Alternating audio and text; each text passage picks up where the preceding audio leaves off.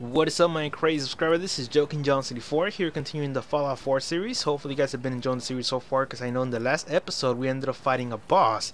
And um, it was a great ending by the way because I ended up killing it with a rocket launcher uh, and it also it took me two rounds to kill that boss because the first time I did not know what to expect after I killed like a bunch of those crabbies and then a big ass mother crab just came out of nowhere and killed me like right instantly. And then the second try was pretty much of um you know I knew what to do and I freaking found a rocket launcher randomly and I killed the queen. So it was called the Mirelurk Queen uh, and uh, it was an intense battle. So anyways after that battle uh, we ended up capturing this place right here called the castle, uh, led by the Minutemen, by the way. And um, it's a huge place. I mean, I already checked it out, and uh, we all saw it in the last episode, and it was a freaking huge ass place. So, um, what I want to do right now is give you guys a tour, because I know in the last episode there was nothing. There was nothing customized at all. None of this was actually here. All this right here is actually news. That, that's all me right there. So um, I'm gonna give you guys a little bit of a house tour, a little bit of a crib. Um, what's it called? Cribs. An episode of Cribs. So right here in the front, usually there's like a whole pile of dirt here, an open big ass wedge, and instead of having it like that, I created myself a little barrier right here so people can cross over and then cross down. And also check out the little town that I got here going on. Um, I want to show you guys like with this weapon instead. So right here in this little area, we got a bunch of stores. It's like a little warehouse that I want to do, but I stopped because I, I was running out of room. Now, check it out.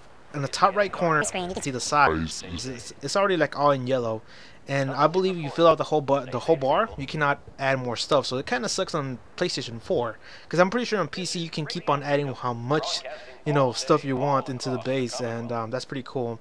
So yeah, it kind of sucks in, in uh, PS4 that you cannot add a bunch of stuff. So anyways, so um, we got ourselves some stores. I bought um some armor hey there. thing here, and you can buy stuff from these people. Let's see what you Just got. Click barter, and um, it'll show you guys like a little list of what they got. As you can see, it was kind of a useless post because um, I don't really use armor. I use the Minuteman um, suit. It pretty much gives you like a lot of armor already, so I really do not use armor like single armor and then there's a general uh, trader store which is pretty good if you want to like build a I don't know like a little light switch or something. It they, uh, this person has all that parts in that um, little section right here. And then over here I just created a random ass clothing store which pretty much sucked. That's why I don't have anybody there. instead I put this person like in the medical medical room I believe. Medical room is over here. Yeah actually it's over here. The medical room. And there's nobody here what? I thought I put him here last time. I don't know where the guy is. That guy's crazy. So yeah, this whole little area right here is going to be like a little shop area. And then right here in the middle, I put one of those defense posts because uh, you never know when they try to cross over and they already crossed in. And uh, we need an extra person right here to be shooting them down before they get in further into the base. So, um, and also, the right here, we got ourselves a little farm going on. Pretty cool. My little cow, all my farm area right here. I planted like a over, um, I believe like over 20 potatoes, bunch of these little trees and I also also uh, planted a lot of carrots as you can see. A bunch of carrots a bunch of gourds all over the place and that should be enough for the whole base. And then over here this little area this little shack right here um, is my personal base. This is where I put like some quick equipment. As you can see I already have my uh, Mirelurk Queen steak that I actually cooked and it does give you a lot of health. Um, also have a, like a Nuka-Cola and all that stuff. It's a bunch of personal stuff as you can see, I already decorated a little bit right there because uh, it looked too plain to me. I was like, nah, I gotta add some stuff, and that's why I added this little uh, painting of a deer or of a doe. What what the hell is it called? I know it's not a deer. It's a ram. No, it's not a ram. Ram had the curly curly horns. So um, here's the workshop, by the way. Uh, what else did I? Also, I put more of these around because um, I needed electricity and I needed a cheap in a cheap way because um, these right here um, are all consumed by this big ass tower which does absolutely nothing. It does nothing so I had to create another tower over there for recruiting because this thing was not recruiting um, when I was recording off camera, actually I did record off camera by the way, there's a lot of lost episodes, maybe like around 7 lost episodes which I will not show because um, I feel like they were boring. I feel like they were like really just a bunch of time killer and I don't want that. So instead I'm to go into the cool stuff like showing you my base now after I defeated the queen boss. So uh, this is like my radio tower, tower right here. And the reason why I put one because that one does not do shit. This is a useless tower. I don't know what it does. Maybe some people are skeptical about it and say like, oh no, it's an actual recruiting tower. Well, I actually like simulated like around five days straight and nothing, like nobody showed up into the base. I was like, what the hell's going on? So instead, I put like a little recruit recruitment tower, and people started showing up like right instantly. I was like, wow, it grew up like from four all the way to freaking ten, like instantly. So um, I don't know what that tower does in reality. Like I really doesn't, I really do not know. Have a little laser turret right here. A pretty cool bridge, by the way. Pretty cool bridge. And then uh, what else did I do? Oh yeah, but but uh, put up um, a lot of defense posts right here. This one's actually wide open gap, but um, I put uh, one of these things so it will cover it, so enemies cannot flow over. And then another one of these things. I should have put that thing right here, because um, I don't know, having an open wide gap like that can people can actually shoot through. So I have this little gun turret aiming over there, and I have this guy, Preston Garvey. What's up? I can already actually uh, make him follow me, so I might do that and ditch Codsworth because I need a little bit of range with me. Uh, what else should I talk about? Uh, I think that's it. Yeah, pretty much this is the base. Oh, and by the way, I brought my armor. Now the armor thing, it was quite a long story because I thought you cannot teleport with the with the armor around the map because you know, guys, you can actually fast uh, travel, and I did not know you can actually fast travel with a big suit. So um, yeah, I actually was dumb enough to like actually like run from.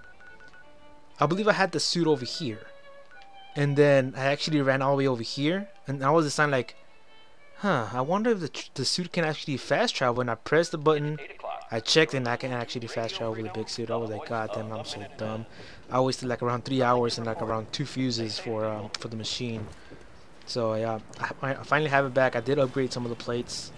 I think it's like level two now and everything. And yeah, and just the dog. I actually brought him with me. So I did a lot of things off camera, guys. I really did not want to show the process because I believe it was going to be way too long.